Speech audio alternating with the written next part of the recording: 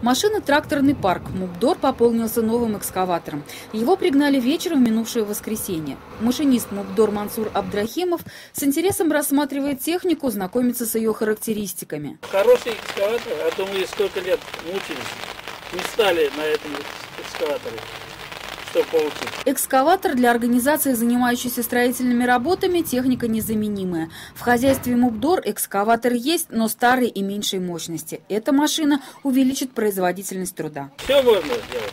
У нас всякие работы. Тут на кладбище этот могилу копать, тут в городе, вот сейчас у нас работу появилось много. Экскаватор не хватало, мы со стороны брали а теперь уже. Новый экскаватор стоит 3 миллиона 100 тысяч рублей. Это подарок республиканского правительства к юбилею предприятия.